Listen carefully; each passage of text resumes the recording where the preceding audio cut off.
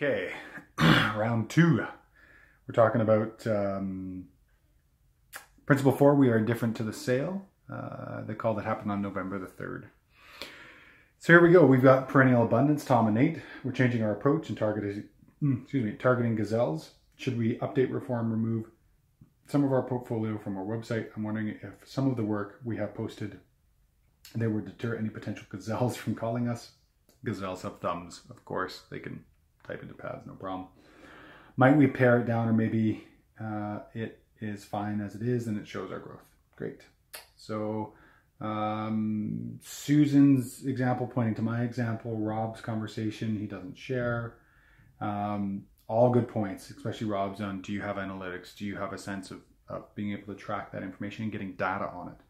Um, Rob and I have two different approaches on this, which is great because it shows we have two different examples and we're both still really able to do what it is we need to do. Uh, and so it, it, it really shows that you work with integrity and, uh, you know, everything is kind of under the sun. Um, I'll tell you why I do it.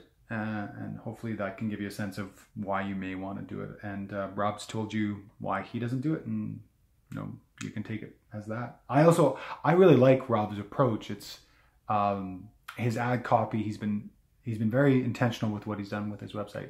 Black and white gives a real big message. You know, it's a black or white conversation, especially working with an engineer. You can do this, but here's the implications. You can't do this. Here's the implications. Uh, the ad copy's tight, very very tight. And then you really get a sense that this is a professional premium company. They're not telling you a lot about anything um, you're going to have to call them and have a one-on-one conversation, which again is very rare in the world. So really consider what's rare in the space and move towards what's rare because it stands out. It really helps you to differentiate. I found that there wasn't a lot of good examples on websites when I was looking at people's work, and that to me was really rare. And when I was looking at websites, I was thinking, I'd really like to know where this is and what were the examples and if it's relevant to me. Um, all of that to me really seemed like uh, something I wanted to do.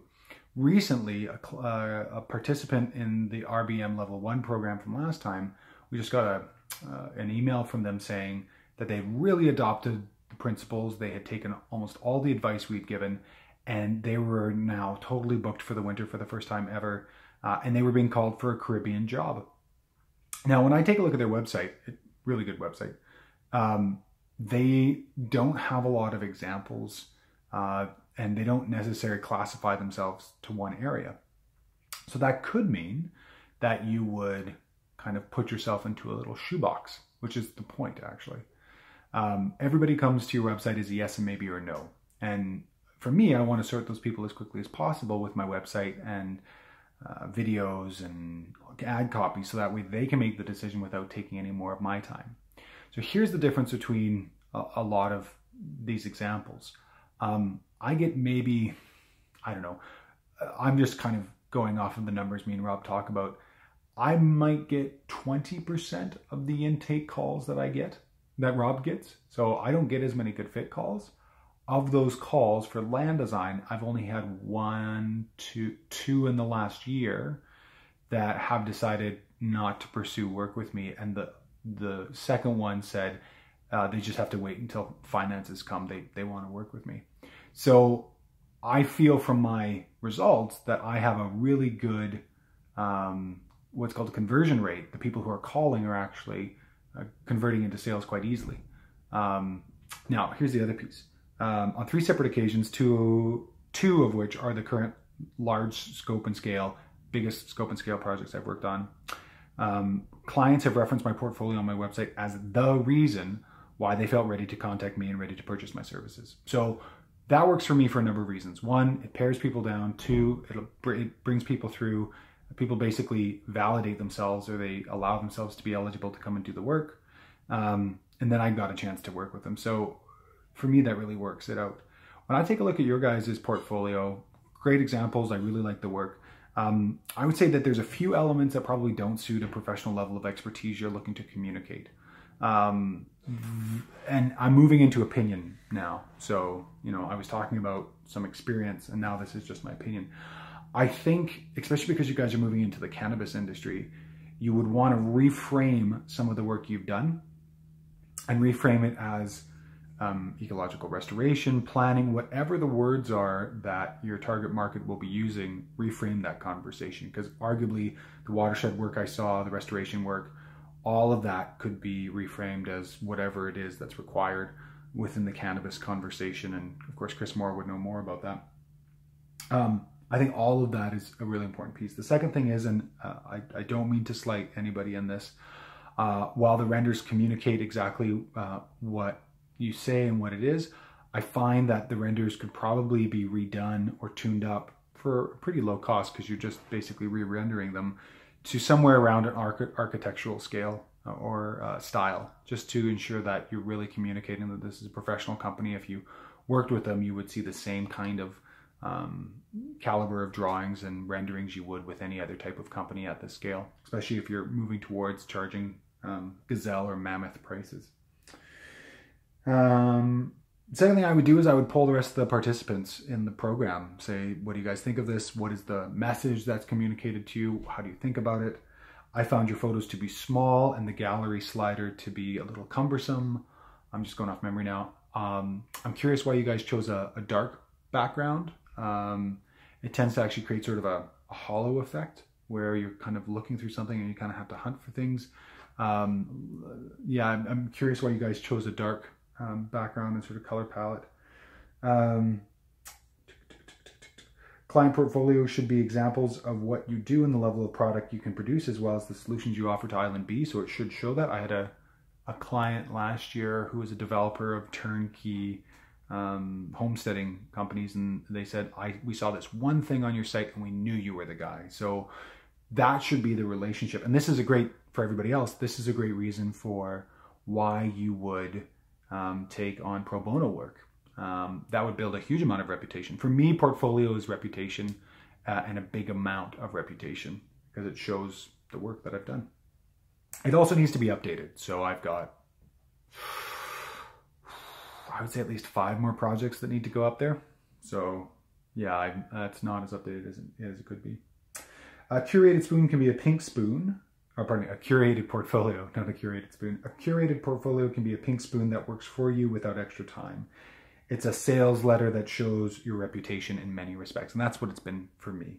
Um, I actually think that uh, a lot of the work that Rob does in terms of modeling and, and some of his um, resilient acreages, especially the ones that are currently being built, would be exceptional pieces to put on his website.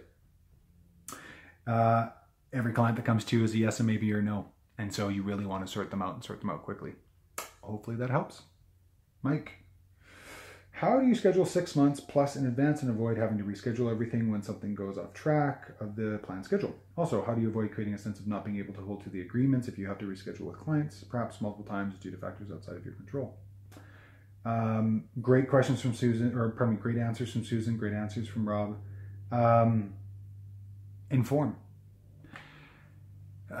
if it ever comes down to a legal standpoint, you're going to get into a place where you'll have had to have informed the client. What I say now in my contracts is um, I'm available, I'm currently available for this work to begin on X date. Um, if the current work I'm, I'm involved in exceeds that date, I'll communicate delays. I am not beholden to this start date as I work in the physical realm and there are delays outside of my control. When you get into the contracting world with construction, my mom's um, been in it for 35 years, there are a number of punitive actions for this type of work. Um, this, uh, delay times incur an incredible amount of cost, which can be then um, collected from the general contractor or the construction company. There's a lot of pieces there, but basically, when it comes to the scale of working with clients, I just tell folks, hey, this is when I'm available. Uh, if there's an issue, I'll let you know. Sometimes there is an issue. Know that this isn't a confirmation, it's a confirmation of the earliest time I can begin with you. Um, that usually works out really well. Just be honest with clients, you know.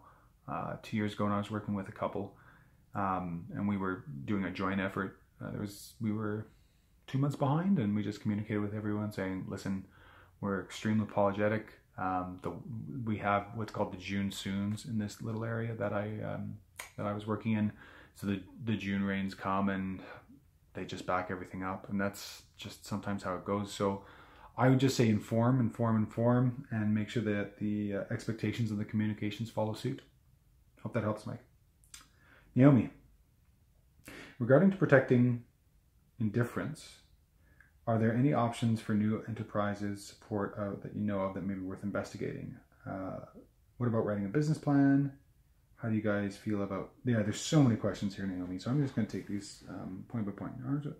In regard to protecting indifference, are there any options for new enterprises support that you know of? Yes, there's huge amounts. Um, nothing against the gents, but the amount of support and grants and all the rest of it for women entrepreneurs outweighs male entrepreneurs by 10 or 15 to 1. I have an old document someplace that has an entire list of all the grants available. At some time, this this guy compiled it. I went to this making money management seminar, and I got hyped up, and I ended up buying it for an exorbitant amount of money.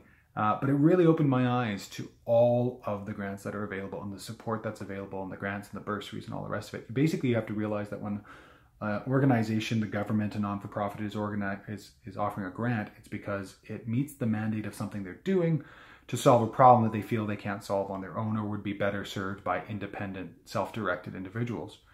So with granting money comes a couple of issues. Um, one, it comes with ties, usually deadlines and directives and reporting. Uh, I was working on a project where we had to create a pond by February on the coast. Well, during the winter is the worst time to create a pond. Uh, we had a subsurface flow.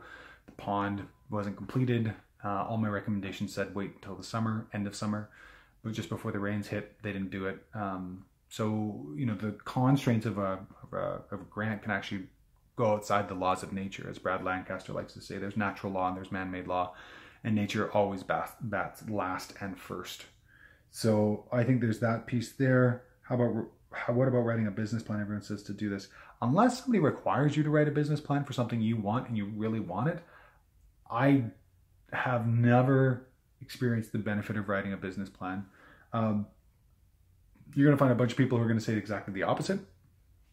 Um, but the way that I work is to test stuff with test stuff, st- test businesses and enterprises with um, something called the business model canvas because I find that's much more uh, accurate and simple. Most businesses come down to one or two numbers in terms of what you charge and what you can produce. Um, basically, what are, what's the the gross margin or the gross profit? Uh, so I think there's an element there of business plans. If you've never written one, it's a good good thing to do because once you've written your first one, you'll go and this is for a loan application and maybe angel investment. But even these days, got a couple good friends who are pitching right now for first and second rounds, and they go in with what's called a slide deck, which is or a deck, which is you know 10 to 12 slides max, major points of the business, major projections, major costs, and gross profit. Like very rarely have I seen a business plan necessary, and especially not at this level. I would be more interested in um, business uh, business model canvas. How do you guys feel about loans, grants, temporary, temp, temporary, bridging conventional jobs, etc., to help with the buffer with the FU money, especially when you don't have decent income flow? I love part-time jobs. Love them. They're great. Why? Uh, they're part-time. um, I worked in parks for a while because it gave me a huge amount of money for a certain part of time, and then it allowed me to go to school. I was thinking of doing that long term so I could travel and see the world. Um, I love the part-time job conversation. Recently, Rob and I got a uh, an email from a participant in an edible landscaping company from the last um, program who was really feeling the crunch in winter said, I'm just going to get a part-time job at a nursery, still building their skills, which is important. You know, make sure the part-time job builds the skills and connections and conversations. So if you're looking at the granola industry, I would say that's probably um, small-scale food, processing, packaging, um, anything to do with catering probably would be of value to learn. All of that, I think, would be exceptional skills and would probably give you networking to to bridge and build the business plus the cash flow to to work uh, I think it's really important to make sure that you have the cash flow to live. It's one of the reasons why I tried to live on um, $7,500 a year just to see if I could do it because at that point I realized, well, I can live on nothing and I can do that ad nauseum. And that gave me the freedom to know that there's so much more out there.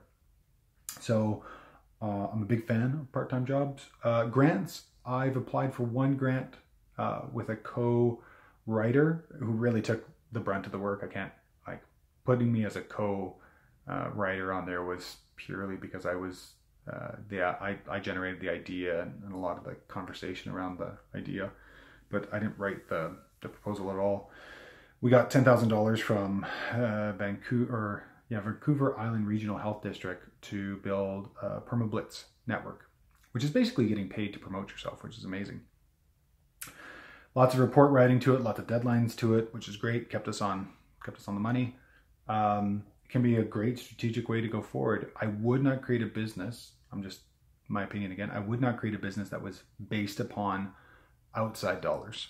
Uh, it's not a business that is a um, dying corpse that needs to be supplanted with um, outside life. You know, it's on life support. It always needs to go out and find money. And so non for profits that don't have economic engines are a, are a big red flag and a big scary thing for me. I've, I've been a part of too many of them to know that that's a bit of an issue. Um, yeah, I think that answers your question. If you have any more questions, ask more. uh, John, since defining the value is so important for the client to understand, how do you define value to things that don't have a clear monetary amount? For example, client A, I have a driveway I don't really use and would love to develop some type of edible garden in its place. There isn't necessarily a direct monetary amount the client is paying for having a driveway they don't like, except aside the light maintenance here and there, but there are a lot of non-monetary value gains, such as an increase in food resiliency, aesthetic improvement, exercise. Curious on how to frame this when communicating our value clearly and concisely for a potential project where the pain point isn't necessarily directly related to saving massive amounts of money. Um, Rob's uh, questions here are great. They're they're basically the same questions I put down. Um, so I'm just gonna run through a few things here. So you during the sales process are a value detective. I want everyone to remember that. You're a value detective. You're trying to learn where the value is in hiring you. So bar, part of this is being incredibly empathetic of, of saying, okay, I'm in my client's shoes. Where would there be some value in the work that I'm doing? Uh, and that's where you uncover a lot of interesting things. I uncovered a client with a child who had uh, a medical issue and they were hoping to have some support from this area. Um, I've spoken to people before uh, that they want this to be a legacy for their children and for their grandparents and potentially attract other members of the family. And then when you start to hear those things, it say, well, what's that worth to you? Like, what's what's the value of that? And you can ask questions of what's been the cost of it up to this point, what's been the cost of it um, going forward, what's been the cost of not having it. That's a good question to ask. I did that this morning with a good fit client. Uh, and for the client this morning, for example, it's a life design situation, so a bit different. But they said, you know, I had to take on ten thousand dollars worth of debt because I don't have a good decision making process. Perfect. That's a number. Um, so I think that's that's got some value to it. Um, you know, we have this area in our yard and we aren't using it and want to do something with it. It's a very nebulous and very common uh, urban client conversation. So replies can be, you know, fascinating. I'm really interested by that desire. You know, tell me more about it.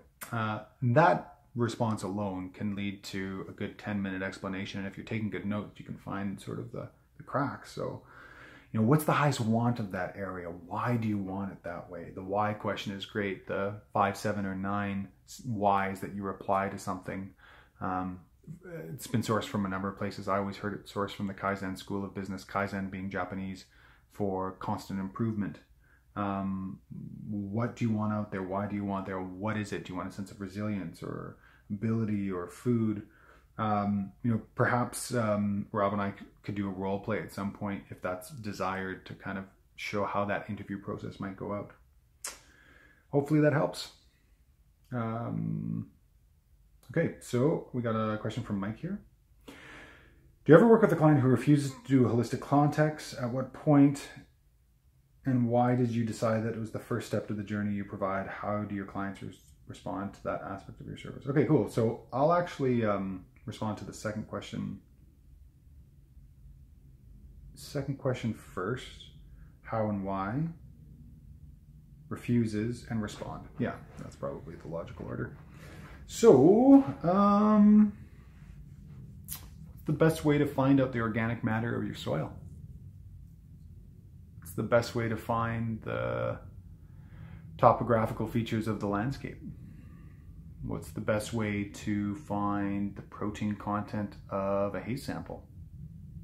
What's the best way to find out the precipitable values of an area? All of those questions have associated with them a number of different tests or assessments or observations you can make. How do you find out what a client's truest wants and desires are uh, and at the same time give them a tool in which they can manage their decisions going forward, making them more independent, taking more responsibility for themselves, and for me, uh, enacting what is one of the most primary pieces of, of the way that I work, you do holistic context. So when I found out about holistic context going back oh, seven, eight years, I jumped into it, I learned about it, I built my own, I started helping a few others, ran a few workshops, saw the value in it, got incredible feedback and said, this is the test, the evaluatory assessment that I use to understand your goals. Um, when it's framed in that manner, it's just a part of the work you do. And as Rob was saying, and as Susan was saying, the one-on-one conversations is the easiest way to do it. Um, there's some people who hear about holistic context and come into it and say, "I want holistic context," which has been my experience. When it comes to land design, I just say, "Great." So our first step is to get a sense of your goals, and the way I do this is through a process called holistic life context. Okay, great.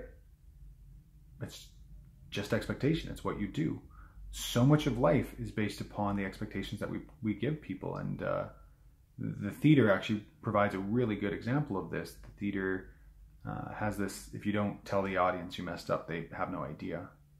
They'll tell you the whole piece, right? So I think um, all of that is a, really good piece. When it comes to holistic life context, you know, I have a, a number of price platforms. I've got a a free intro video. I've got a free guest instruction for a course. I've got, uh, I'm building a paid introductory course for it. I've got um, holistic life context online course that people can take self-study. I'll be doing a group session in February of 2018. And I've got the one-on work I, I do with people separate from, and then there's the the land design work, which is just a part of the assessment. So, you know, folks contract me, I'm going to take a couple soil samples. I'm going to do an analysis of the survey and we're going to assess their wants and needs. I don't use holistic context for urban sites. It just doesn't make sense. They're not enough managed there unless they really want it. But for bigger sites, it's a necessity. So um, people balk at it, which is the other question you had. It's like, great, uh, I just ask them simpler and simpler questions and it works out really well. I think it, the big thing is when you say we're going to do a holistic context and it's based on Savory and it's based on this, people are like, ah. Uh, we say, good, I'm going to ask you a bunch of questions. We're going to pull out your your beliefs, and as Rob was saying, you know, speaking with them six times, thirty minutes a time, reflecting back. Oh yeah, that's true. That's true. That's true. And uh, you can build it really quickly. Um, happy to chat more about that. Great question, Naomi. I'm struggling with indifference, even with holistic context and the sense of burn rate. Could you speak more to the specifics of making better choices about the way you work? Perhaps stuff has to do with the protecting quality of life boundaries, business planning, time, financial management. Um, any area of burn rate more useful to look at? Like Rob, I'm a little confused about this question. Um, specifics of making better choices about the way you work. Uh, yeah, so I'm going to answer this a little bit more in the next question, but um, every day more and more, I'm just constantly evaluating do I love what I do? because I built up enough FU money uh, and have a number of avenues if I ever needed to, I could make money through. I'm, you know, a toe out of the, the money game and hope to be a foot out within a couple of years and hopefully completely out within four to five. Um, so much of that is built upon this conversation of what am I doing and are my actions aligned with what I'm doing? So, you know, every day I'm evaluating, am I doing the work at the right time, at the right interval, with the right conversation? And so indifference from a financial standpoint comes from having a, another source. Um, me, be it in the background on the savings conversation or just having a job that takes care of the basic burn rate and keeping the burn rate exceptionally low. If you're going to build a business and you want it to be successful, you need to keep that burn rate low so that way you're not constantly trying to seek sources of money for you know non-essentials And for the conventional population that I work with, sometimes that's you know Netflix um, or a Spotify account or things that just you know cut the entertainment. You've made forty five dollars a month that you can reinvest. You know, over a year's time span, we're now looking at what is that 90, 450, 540. So you know it's over five hundred bucks you can invest in more education and conversation.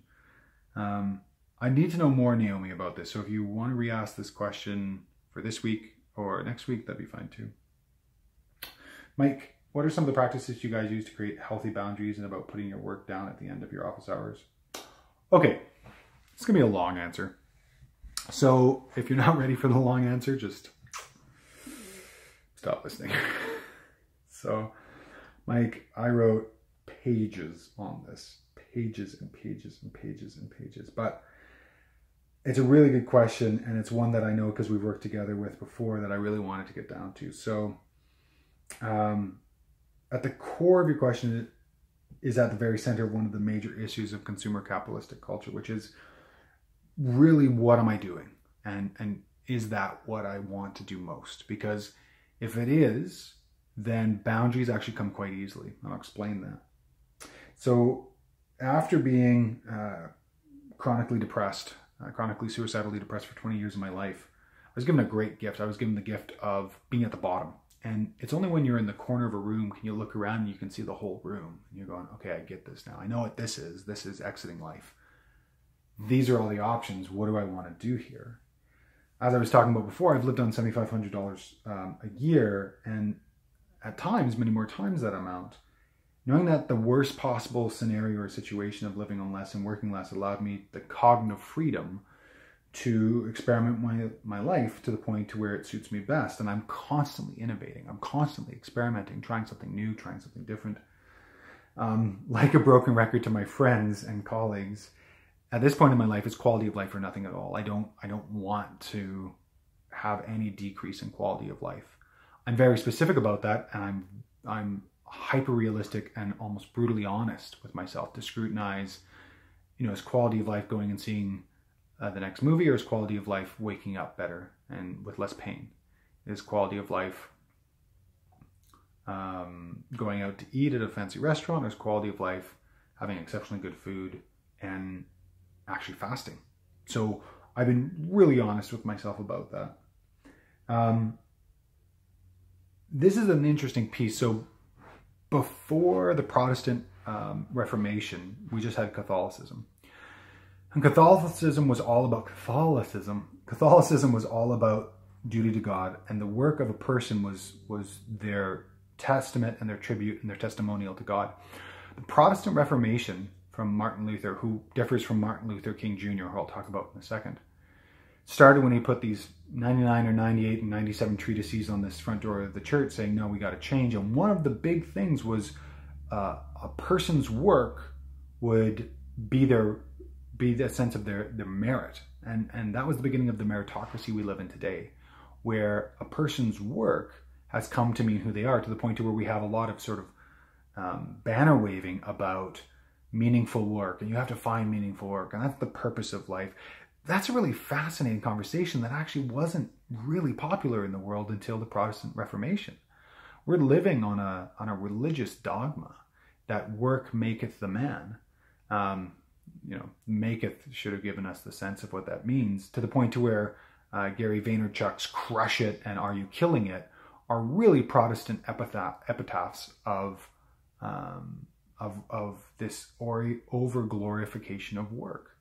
And so I want to kind of give a lot of levels to this answer because you've asked a really good question. And one of them is we have to remove the supremacy of work, period. It's, it's the number one killer of dreams and soul and possibilities and really good work. Um, the pre- supremacy of work actually destroys work because the supremacy of work almost necessitates that you do something well, regardless of what it is you do, which means you're going to miss out on how you're doing it, why you're doing it, and that you're actually doing it to take the rest of the time off so you can contemplate and think and improve the product to start off with. Uh, I have developed a habit of taking large chunks of time off to cognate or to, to, to reestablish my cognition. I just did it. I took 10 days off to reestablish my cognition.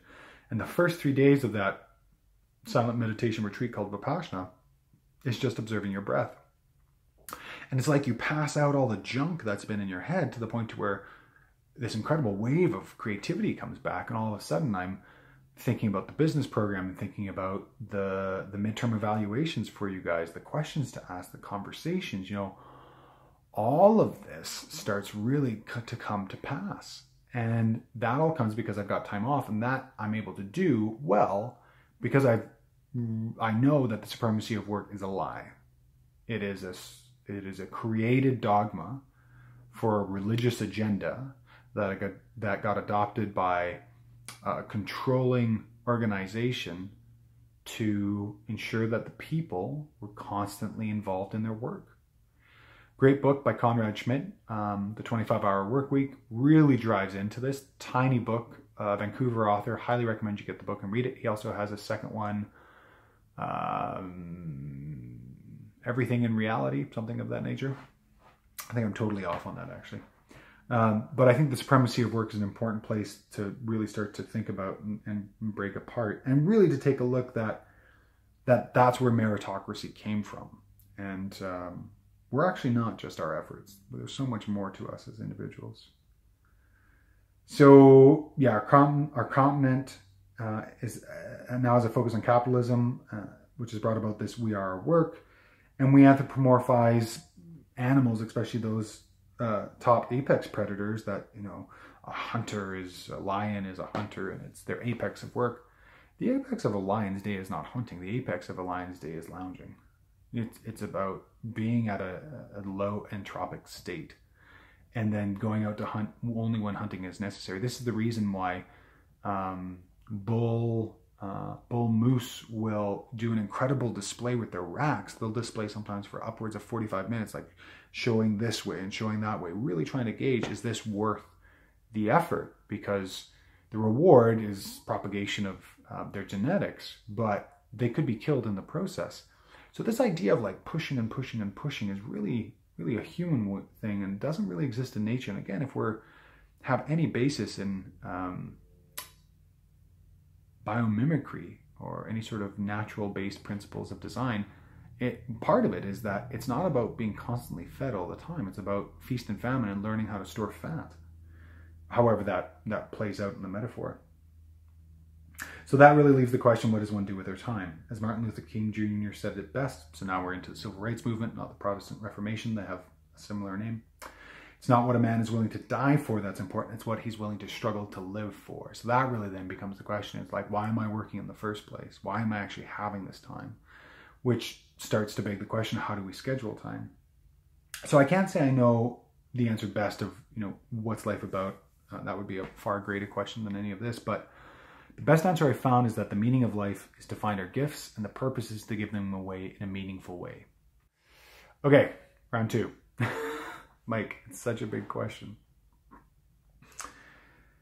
so we were just talking about uh, decisions meaning of life etc so once those priorities are known, once those things of why you're living, and I know you've got a couple kids, um, then you can really put everything into stark focus. That all your time, unlike my camera right now, because I'm not focused. That was a little coincidence there. Um, so once those properties are known, priorities are known, kids' time, time to cognate, uh, expressing yourself, um, you craft your art, the rest comes pretty rapidly and pretty easily. So I'm going to talk a little bit about this yearly calendar that I've been innovating on and um, the value of it. And so uh, I'll probably do a more in-depth video for you guys at some point here. But the short and long was during August, I took some time off. First August I've taken off since I was 10 years old. And I loved it. it was great. August is my month. It's my birthday. I feel charged. I feel energized. Uh, it's when the mulberries come out. It's when the figs are out. It's when swimming's awesome. It's uh, it's a great time, great time of year. Why would I want to be working? And this really comes back to something that a friend of mine said a couple years ago, who said um, when I just took my PDC and he was my teacher at the time, and I said, "No, are you busy? Because in Alberta, if you're busy, that's good." Even when I call my grandfather these days, "Oh, you're busy. Oh, that's good. You must be fine." that's not. Those don't those don't correlate all the time, almost at all. When I'm usually hyper busy, I'm usually hyper stressed and not sleeping well. But anyways, so um, during August, it's a great time, and I think to myself because this was the first August I'd taken off since I was 10 years old because I've worked every single summer. I thought I want to I want to schedule this right away. So I went and scheduled August 2018. Uh, moved it around a little bit so I could like take in uh, an event and also my birthday and just make sure all that worked out. And then uh, I went back to today. Now, if you were using a physical calendar, it would be the same as using a Google Calendar. Now I can't see what's coming up. And I realized that the calendar is an exceptionally interesting device that the way that we see it, the way that it's designed, doesn't actually allow us to forward think and forward look. Furthermore, it doesn't allow us to actually segment what's life and what is the rest of it. So I took uh, my 4x8 whiteboard, which is actually something called Frost Free Board, which is a, uh, a product from Home Depot that's used to uh, renovate bathrooms. It's cheap, it's like 40 bucks a sheet. And uh, went from the, the month and the week I was in, I was in like week 32 or 33 of the year, went all, put down all the weeks, all the way out to the next August, and then basically plotted in my vacation next year. Now I could see it and it wasn't going anywhere. And I was looking at it going, this is incredible. But as I looked at it, I started to think, I want to be doing something cool between now and then. Like, what am I doing in six months? And normally I take a couple of weeks off at Christmas, but I didn't have it up on the calendar, so I put that on. Um, and my partner's daughters come out, and my mom comes out, and we watch old movies. And I bought a foosball table for us to play with, uh, and we do crafts and good food and play terrible games. It's amazing. It's, so lovely. It's uh, everything I thought Christmas should be. um, sometimes friends come up, etc. So then I had that up, and then I was like, well, what am I doing in between those times? And so I had a meditation retreat that was coming up, which I just went to. I thought I should actually book the other meditation retreat now. So I did that. I was like, so what's happening in between here? And then I found other things. So now all of a sudden my, my year is really exciting. I'm really looking forward to all these cool things I'm doing. And I realized this is actually holistic context in action. This is the graphic version of holistic context. Placing the life designed elements the the life activities first and foremost, and then saying, great, I've got this amount of time to do a project, this amount of time, this amount of time, this amount of time. This then plays in really well to contracts and telling people and, and giving people expectations, which I think um, somebody else just asked in another question. Actually letting people know when these these areas exist. So in my contracts, I now have the times that I'm unavailable, and I say when I when I believe that this will take 12 weeks, let's say, uh, that does not include this time. So do the math. If we've got four weeks before this time, and then I'm four weeks off in 12 weeks, this is looking more like uh, date to start, date to end, looking more like 16 weeks. And so that's all really well educated to folks. So that yearly calendar has been exceptional, and I could go into a huge depth of calendars and just the research I've done. You know, they're a Roman creation. Most of the months are named after Roman holidays, Roman emperors, Roman gods, or just the names. Uh, September 7th, uh, October the 10th. Um, yeah, it's just, yeah, or October the 8th, pardon me, September the 7th, October the 8th, November the, um, the 9th, and then December the 10th.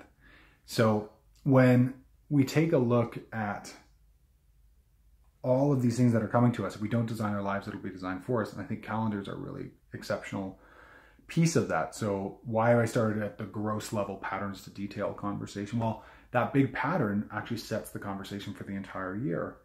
Um, and really, in terms of the long-term priority and setting time, it, it also sets when you can and, can't finish a job or when you will or, or, or, will not be able to do something. So when, when Rob and I started this program, I said, listen, I've got this Vipassana. Are you okay to take two weeks by yourself? Um, and I was able to communicate that up front. Um, right, so calendars are artificial. And as soon as you realize that ca calendars are artificial, then you'll start to realize that most things you can create are of yourself and what's going on. Um, it also means that another gift of, of depression is that I really seek to have the best these days. I seek to have the best time, the best experience, to have filet mignon, as a friend of mine used to say every day. Um, and it really means that, you know, for me, my best time is in the morning. So after Vipassana now, I'm waking up at 4.30. I'm meditating from anywhere from 4.30 to 5 to 5.30 to 6. I'm doing an hour of exercise. I'm doing a bunch of um, creative paperwork. That means I'm just getting ideas on paper, not turning on the computer, not being distracted. And then, you know, somewhere around 7.30, 7.38, I'm actually at my computer ready to go and I've done a lot of creative work. That to me is a filet mignon day. It's, it's not, you know, a food or a hedonistic pleasure. It's actually just being really on point. So that all of a sudden starts to change the conversation because I'm working from a place of um, real strength because I'm going from the priorities of the things I want to live for, not the things I I, I want to die for.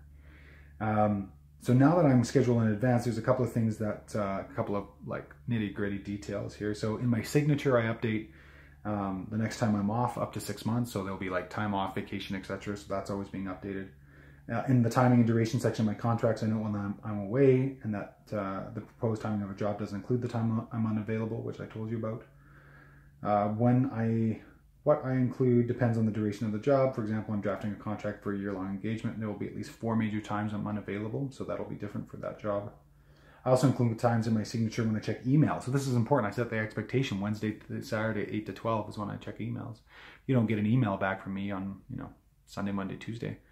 You're not really surprised because I've already set the expectation. And I've, I've gotten a lot of comments over the years of people saying, wow, I really respect that you put that in there. I have a big signature. That's the other thing. I, I, I'm a little envious of Rob's signature and others when it's just PNG. Here's my number. But I like prefrontal load. I love preloading folks in their prefrontal cortex so that way they know what they're expecting and I don't have to do a lot of that. Um, I check email infrequently and I'm on and on my time schedule, not the client. So that's my own business. Uh, and I've got a phone for my convenience, not everybody else's. So frequently to the dismay of my friends and family, my, my phone is normally on do not disturb. And I check my email when I'm available because I want to be totally present in what I'm doing. Uh, you'll you'll say, well, what about the uh, what about the the big problems? It's been three years. There haven't been any big problems. Family member dies, they're not going to be more dead a couple hours later. Uh, if a project goes really really poorly and i already know it's it's on the edge i'll keep my phone on and i'll keep the ringer on because i know okay well that's you know that's an oddity. But i think that's also a really good point. You know if a project's on on the ropes and it's always all the projects are always on the rope that's a pretty good indicator that something has to change.